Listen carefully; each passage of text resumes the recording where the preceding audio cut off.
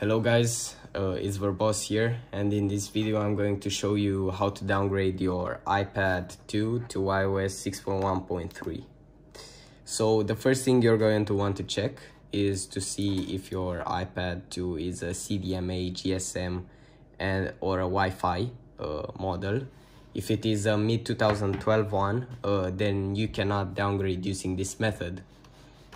So the first thing you're gonna want to do is uh, reset your iPad uh, to factory settings, basically wipe the iPad and uh, download the newest software version, uh, which uh, in this case is uh, iOS 9.3.5.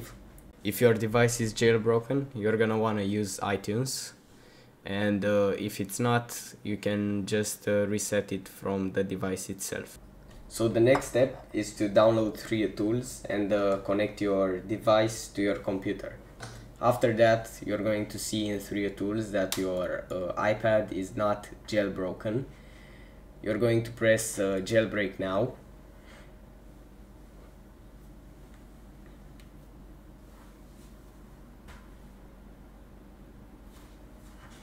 You're going to press on Phoenix 5.0 as it's the only option. After that, you're going to see that uh, the Windows security stopped the threat, which is now really a threat. So uh, the jailbreak failed. So you're going to want to go into security, Windows security, and uh, deactivate the real-time uh, protection.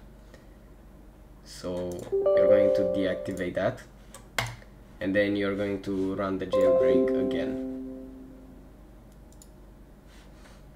Phoenix 5.0 and then start the jailbreak.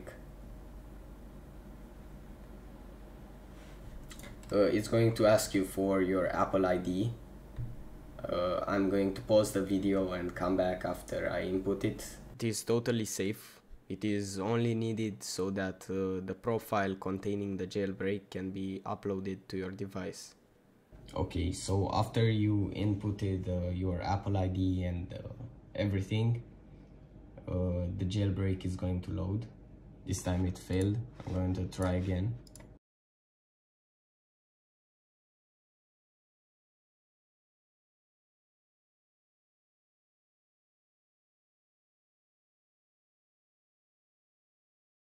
Now uh, you're going to see on your iDevice that you just got the developer app uh, thing. You're gonna want to open it and then uh, trust it. After that you can go onto your home screen and see that the Phoenix app uh, is downloaded. Uh, you can open it and uh, press prepare for jailbreak.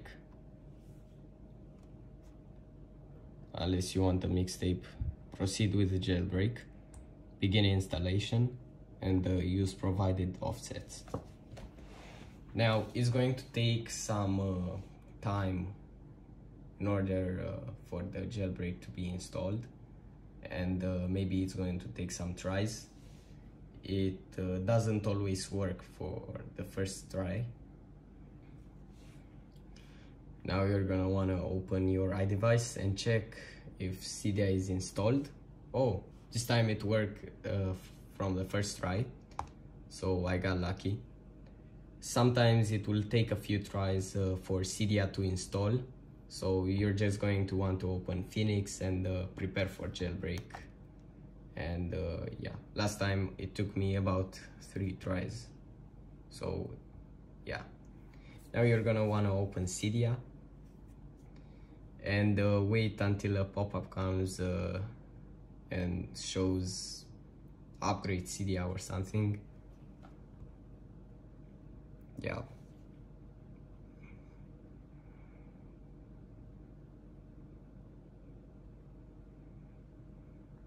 Return to Cydia so here uh, you're gonna want to press upgrade essential because we don't really need to upgrade Cydia too much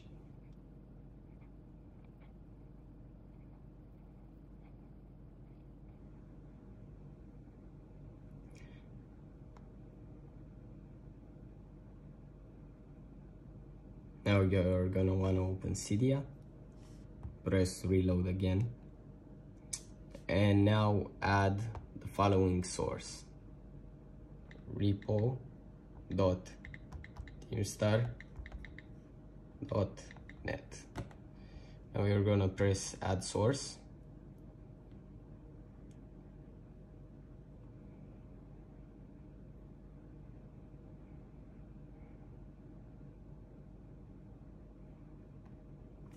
now hopefully when you're going to open this repo you're going to see all these packages. Now you're gonna want to scroll down to KDFU app and open it and make sure to install it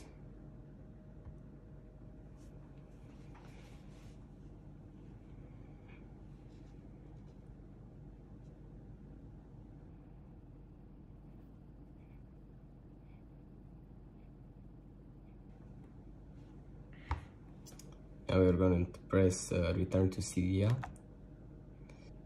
now after the KDFU app has installed you can open it and uh, check which iPad you have.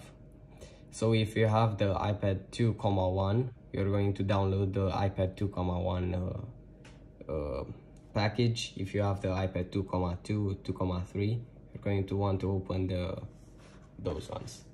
So now you're going to open back your computer. You're going to search uh, 3uTools. iOS 6.1.3 and uh, press the first link that comes up. And scroll down until you see the requirements. So now you have this iPad 2 thing. You're going to download whatever you see here if you shows iPad 2,1 you're going to download the iPad 2,1 package. If you have the 2,2 2,3 you're going to download those. Uh, now it doesn't work so I'm going to open the link in a new tab. Now this works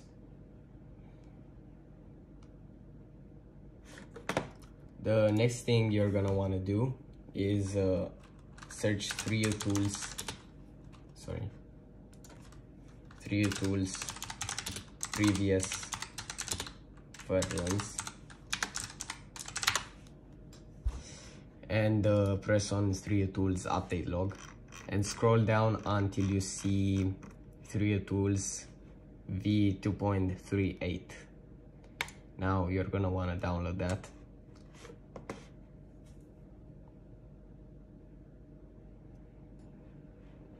and open it up. Yes. Install. Install.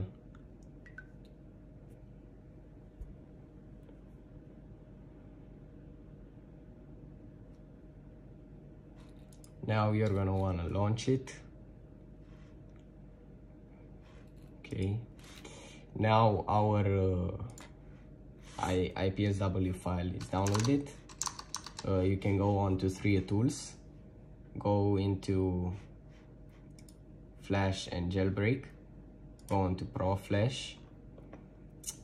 Uh, import firmware. Go on to downloads. Wherever you have that IPSW input it. Now you can see it appeared here. And make sure you use quick flash mode not any of these options. And now you're going to want to open the KDFU app once again on your iPad. Press find bundle.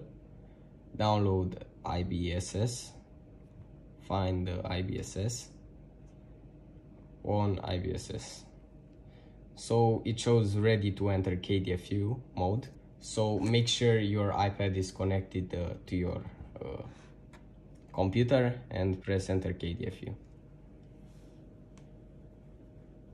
So your, now your iPad is going to go black and it's going to disconnect from your computer. Now you're going to wait a few seconds now you're going to unplug your iPad and uh, replug it. Okay. Now that it's plugged back in you're going to want to flash that uh, firmware IPSW whatever you want to call it and uh, press flash anyway. Now it's going to load up some things and you're just going to wait.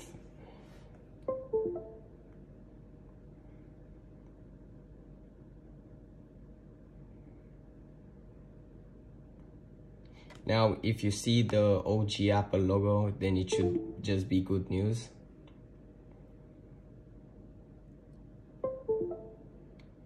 And uh, your update is going to load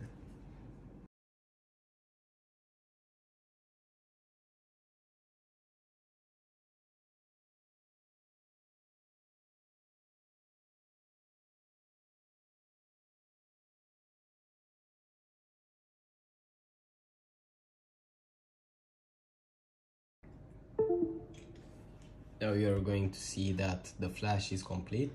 So you're just going to press ok. And now you can just unplug your iPad from your computer. And wait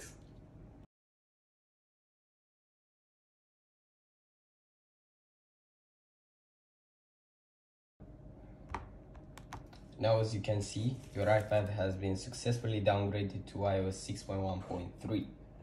So you can just go through the normal setup and enjoy a less glitchy version of iPad OS. If you have any questions, make sure to leave them in the comment section down below. And if this video helps you, a like and a subscribe would be much appreciated. Thanks for watching and I'll see you in the next video.